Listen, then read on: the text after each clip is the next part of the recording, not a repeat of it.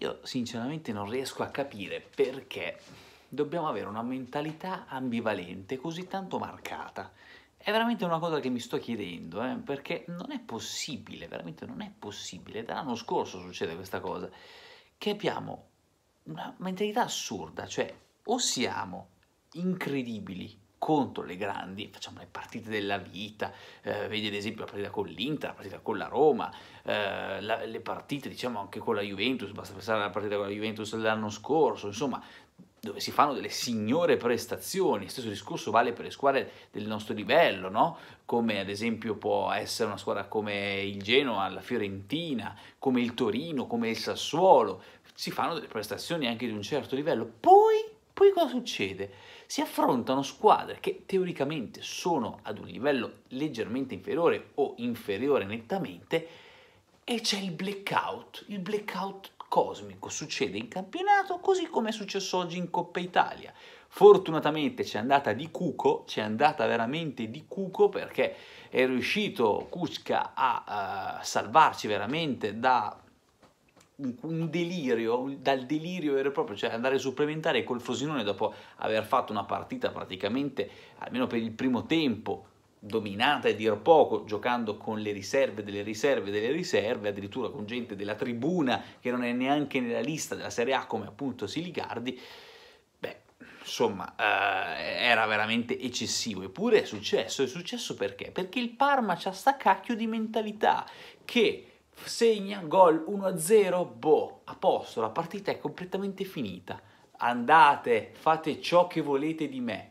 e il Parma si annulla completamente, basta attaccare un po', fare un, un, avere un atteggiamento diciamo offensivo in maniera anche abbastanza eh, leggermente veloce, abbastanza anche spinta, cosa che Nesta ha cercato nel secondo tempo di avere, cioè una fase offensiva molto più rapida e veloce, cercando delle verticalizzazioni verso Trotta, verso Citro, verso eh, diciamo di attaccanti del Frosinone. Il Frosinone, ragazzi, ha è, riusci- è riuscito prima a segnare con il gol del pareggio, un pareggio che sinceramente non mi aspettavo e da lì in poi c'è stata una valanga, cioè mi stavo toccando i capelli, stavo per perdere alla Homer Simpson, eh, ero disperato, dicevo questi segnano sicuro, questi segnano il gol del 2-1 sicuro, tant'è che sono andati vicini 3, 4 volte in maniera netta, Colombi ha fatto un paio di interventi niente male, loro hanno sbagliato dei gol assurdi tipo quello di Citro, beh ragazzi io lì dicevo ma cosa cavolo stanno combinando, cosa sta succedendo a questo Parma? Finché appunto non è intervenuto Cucci a quell'esperienza, con una grandissima esperienza, con un gesto secondo me da da campione, e cioè calcio d'angolo, capisce che potrebbe guadagnare il calcio, da, il calcio di rigore, avanza velocemente, si fa seguire dal difensore, si blocca in quell'istante tanto da subire poi il colpo e cadere a, terra per un calcio di rigore che secondo me c'è ed è netto ragazzi perché eh, viene colpito in pieno e lì eh, se uno si ferma per cercare di colpire il pallone di testa viene colpito eh, con una spear praticamente alla Roman Reigns dal, dal, giocatore del Fosinone, beh quello lì è calcio di rigore battuto perfetta da, perfettamente da Hernani ed era ora vedere finalmente Hernani battere un calcio, un, cioè riuscire a segnare e eh, tra l'altro c'è andato vicino anche con un calcio di punizione, era ora, era ora, però, però Hernani bisogna sottolineare che in questa partita, maggiormente nel calcio di rigore, è proprio sottolineato che lui è così, è lento di suo, pure nel calcio di rigore ha dovuto fare il passettino lento, lento, lento per riuscire a segnare, ma è fatto così, importante che adesso l'ha buttata dentro, che continui da adesso in poi a sbloccarsi e a segnare. Non, lo, non capisco veramente, non capisco come mai il Parma quest, abbia queste due facce, eh, certo, c'è da dire che praticamente i titolari in campo ce n'erano tre e sono entrati tutti e tre durante il secondo tempo, che sono Kuczka, Kuluseschi e Darmiani, gli altri erano comunque, come abbiamo detto, a parte forse Gaiolo, è vero, c'era anche Gaiolo, eh, gli altri erano tutte riserve, quindi bisogna dire che ci sta magari avere un calo, sia eh, un calo mentale perché non sono abituati a giocare, sia fisico come per esempio per Siligardi che non giocava una partita intera da una vita o a Dorante stesso discorso, quindi è normale che magari possono avere un calo di quel tipo. Eh, tra l'altro parlando di Siligardi e Dorante, Siligardi mi sei mancato tantissimo, cioè i tuoi tiri così ad effetto che l'anno scorso e due anni fa sono stati fantastici, mi sono mancati davvero davvero tanto. E a Durante eh, ho visto delle cose interessanti, cioè il giocatore si vede, il ragazzo si vede che ha qualità, però è ancora molto acerbo, era la prima partita che fa da professionista, bisogna dire questa cosa. però è ancora veramente molto molto acerbo. C'è da dire che Kuluseschi anche lui nelle prime partite sembrava che avesse del talento, ma era molto acerbo. Quindi bisogna vedere il suo ragazzo magari dandogli un po' di fiducia, perché no a gennaio provare anche a darlo via in prestito, vedrà la società che cosa fare, insomma, secondo me potrebbe dire la sua in un futuro prossimo, anche perché è un giocatore cresciuto con noi, sì, gli ultimi due anni era stato all'Inter, però comunque ha fatto la trafila da noi, è di Parma e quindi è una cosa figa vederlo con la nostra maglia. Eh, Sprocati nel primo tempo non mi è piaciuto tantissimo, mentre nel secondo tempo già qualcosina di più interessante l'ha fatta vedere, c'è da dire però che lo stesso discorso vale anche per lui, cioè non è possibile arrivare lì sotto porta senza avere la cattiveria giusta per buttarla dentro. È successo contro, eh, contro chi era, non mi ricordo più nella scorsa partita, forse contro il Milan, non ricordo ragazzi, eh, sì forse contro il Milan, è successo contro ehm, il, no, la partita prima, contro il Bologna, ecco, contro il Bologna, scusate scusatemi, contro Bologna.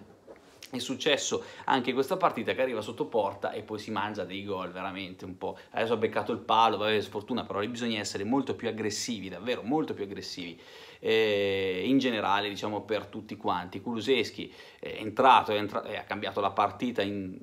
positivo, Kuczka stesso discorso, già detto, gran giocatore, Brugman interessante il suo primo tempo, andava su tutti i palloni, ha provato anche ad andare uh, in attacco, ha fatto anche un bel, un bel calcio di punizione, mi è piaciuto molto, però ancora mancante di ciò che gli si chiede, cioè le verticalizzazioni. Brugman, dai però, dai veramente. E che dire ragazzi, io devo dire una cosa importante prima di chiudere, e cioè lo so che la prossima partita si gioca contro la Roma e lo so che è praticamente già persa perché sappiamo che quando andiamo a giocare a Roma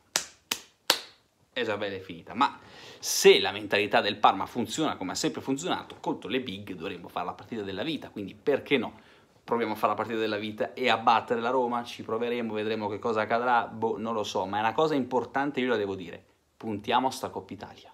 puntiamo a questa Coppa Italia. Io spero vivamente di, a Roma di non vedere le riserve delle riserve. Io voglio vedere i titolari fissi. Io voglio, vorrei da tifoso, vorrei, voglio, meglio di no, però vorrei da tifoso che la società e il mister puntasse a questa Coppa Italia. Non venisse snobbata, non venisse considerata una coppetta, perché ce la si può fare. Ce la si può fare. Abbiamo dimostrato di potercela fare contro tutti contro tutti, di, di, di aver demeritato contro qualcuno, è vero, ma di potercela fare contro tutti. Sono partite secche, con la mentalità nostra ce la potremmo addirittura fare. Quindi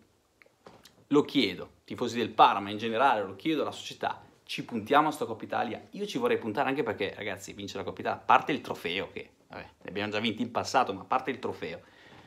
ti fa andare in Europa League, eh? diretto, diretto in Europa League, quindi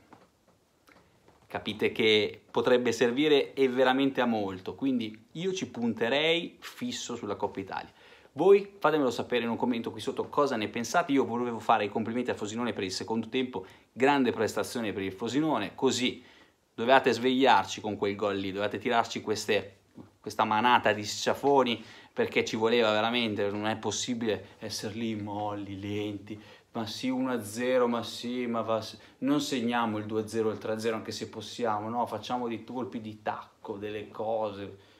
Avete fatto bene a tirargli quei ceffoni lì. Chiudiamo il video prima di 10 minuti, se no la gente rompe le balle. Iscrivetevi al canale se non l'avete ancora fatto. Grazie mille per aver visto questo video, un saluto. Ciao da Papyrus e sempre forza Parma. Puntiamoci a sto Coppa Italia, raga. Ce la possiamo fare. Dai, dai, dai.